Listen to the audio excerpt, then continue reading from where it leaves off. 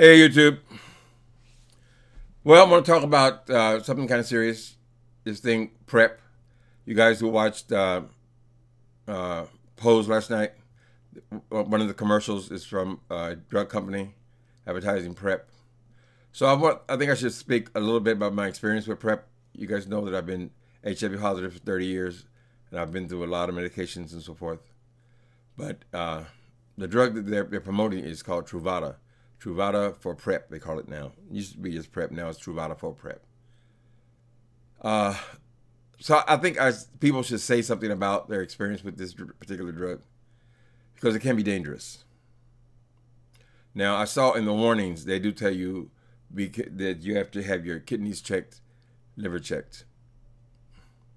My experience with, with, with this with the Truvada, the drug Truvada, I started taking it couple years before it, they even came up up with PrEP. It was just an HIV medication, same medication.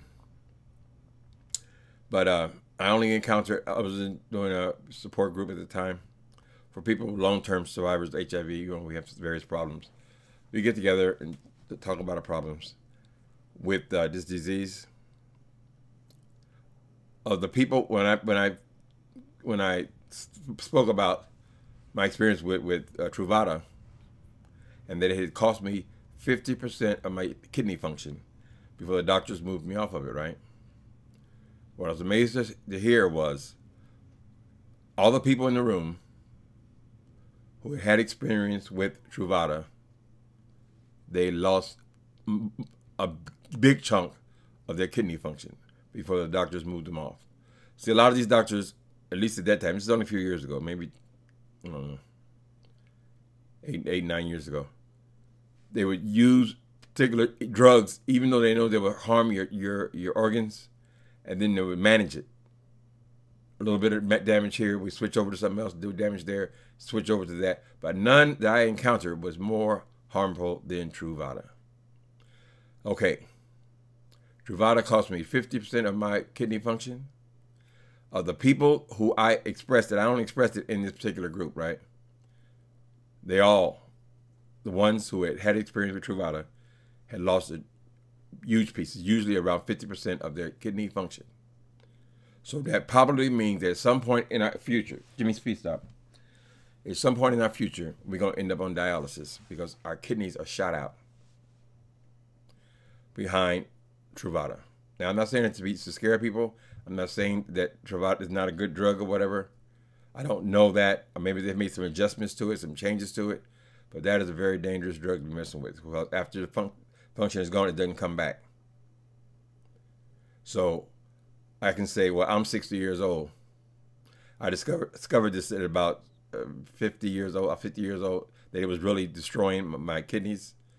And the, the hospital wouldn't even tell me that it was destroying my kidneys because all they said was, well, your kidney function is, is, is dropped by half we want to take you off of Truvada. They took me off of Truvada and instantly there was no more damage to my kidneys. So it was no question that, that was that was what caused it. But they said, "Oh no, it's the hepatitis, or it's something else." So why take me off of the Truvada, the only new drug I added?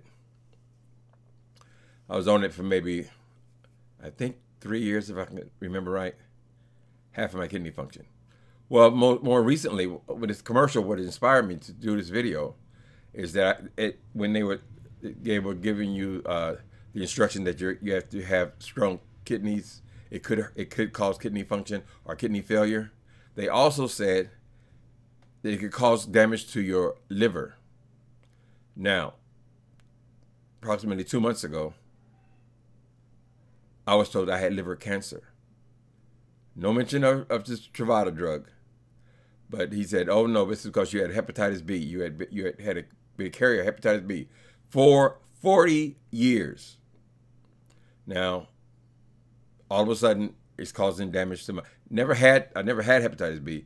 I was a carrier. I had an agent in my my bloodstream. All of a sudden, I got I got uh, liver cancer.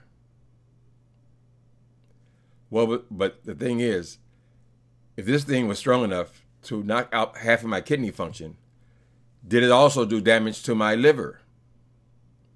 No doubt my liver is damaged. So my point in saying all, all this is, I'm an old dude, right? To put people on this drug, Truvada, at 20 years old, what is your body going to be like at 40 years old? You got to think ahead. I know when you're young, you don't want you don't think about health thing unless it's affecting you directly, right? You think, oh, I can have sex, whatever. But I want people to really, really consider the possible damage these HIV drugs do to the body, and in particularly Truvada. Now, I can't say that I definitely got liver cancer because of Truvada, but I lost my kidney function from because of Truvada. And at that same time, or very near that time, when I got off, when they took me off the drug, is when they discovered there was problems with my liver. You see what I'm saying? So, I guess they don't. If they're allowed to, to still manufacture it and still advertise it, so it must not be harmful to everybody.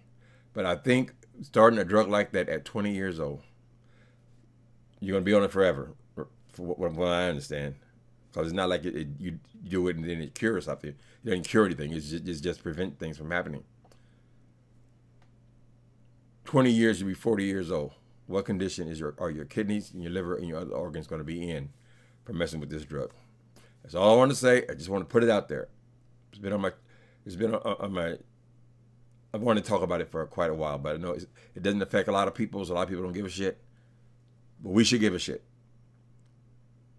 And also, when I was researching this, when I first found out about my kidney function, now these other guys who who had this similar experience, none of them were African Americans, right? I was the only one black. But when I was researching uh, this effect, this side effect, they said it for some reason African Americans suffer from this more than other races you know the internet. Internet's got everything on there. So this is just something I came across, and a couple of articles that I came across stating that we were more susceptible. So, if you do decide to do PrEP, first of all, don't stop doing rubbers. Be quiet. Hey, be quiet. Come here. Come here, ding dong dingy. Get your bum up here. See my baby? This dog Oh, let me finish my story before I start talking about the dog. I'm falling in love with the little dog. Get right here. They right here. I want people to see your face. Put that face right there, the ding dong ding. This dog here, I am falling in love with him. But uh, what else I saying about PrEP? Just be aware, people, and be tested. When they say have your kidneys tested every three months, do not take that lightly because I was only on the thing for a couple years and it did that much damage. Not only to me, but the other people that I encountered who was on the same drug had almost the same uh, effect. They weren't all black. They weren't all nothing. They just all took that drug. Okay? All right, it's enough of that. Now, the baby face. Deanie face, Deanie face. This dog is, uh, they're Tibetan. If you, uh, it's called a Lhasa Apso, right? So it's the one that got the hair go all the way to the ground. If if you are so inclined to groom them every day. We'll keep his short, but their job in in Tibet, the monks used them in their in their I guess their monasteries. These were guard dogs. Look, look at this thing.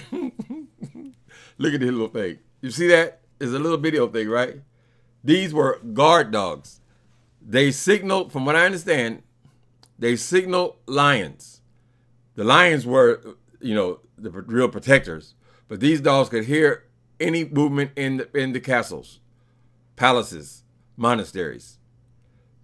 They they always alerted. So every time somebody walks in this hallway out here, he goes. It's a certain sound, a certain kind of cough that he makes, a certain kind of little bark that he makes.